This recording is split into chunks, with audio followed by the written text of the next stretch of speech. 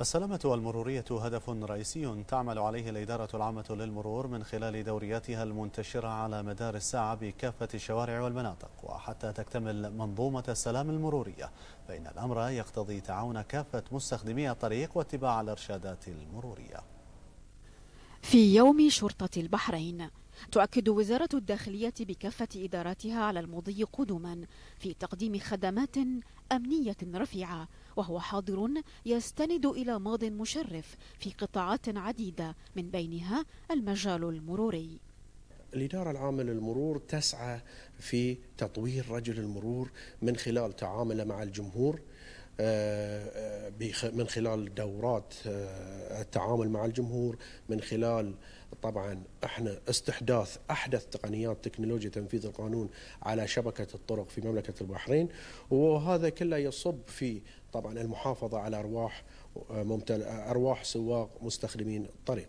رجل المرور بيكون صديق للمجتمع البحريني وهو طبعا خلال عمله يتعامل مع ظروف مناخية مختلفة من خلال ظروف جوية باردة حارة رطبة ممطرة. هذه بيكون رجل المرور دائما متواجد وله كل التحية في مملكة البحرين.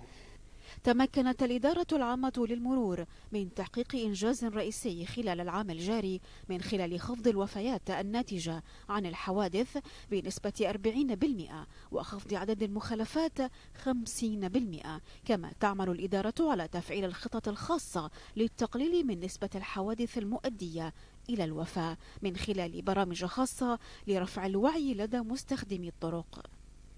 جاء استحقاق الإدارة العامة للمرور لجائزة الملتقى الحكومي الثاني 2017 لأفضل الممارسات الحكومية انعكاسا للتطور الحاصل في الأداء الميداني والخدمي حيث تم تحويل العديد من الخدمات إلى إلكترونية ويتم إجراء حوالي عشرة ألاف معاملة يوميا بينما يقترب عدد المركبات المرخصة والمستخدمة على الطريق من 700 ألف. تسعى الإدارة العامة للمرور بوضع خطة استراتيجية لحماية اللي مرتادين الشوارع الرئيسية والطرق الفرعية. طبعا بوضع خطة استراتيجية لحماية الأرواح والممتلكات اللي على الطريق. طبعا في يوم الشرطة إحنا بدورنا نكثف الدوريات المتحركة على الشوارع الرئيسية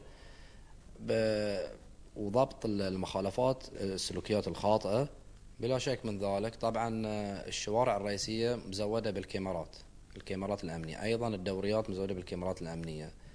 وعلى مدار ال 24 ساعة وعندنا حتى الموظفين موجودين 24 ساعة بمراقبة اللي هو الشوارع والكاميرات. وأيضا عندنا الدوريات المتحركة على الشوارع. من لحظة تلقي البلاغ تكون الدورية قريبة من الموقع موزعين على حسب المحافظات.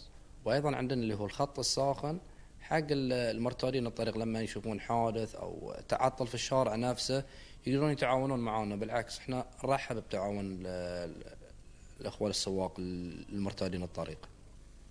تبقى الإنجازات جزءا من مسيرة العطاء ويتواصل الإصرار على أن يكون الغد أفضل والمستقبل أروع فالبحرين تستحق الكثير.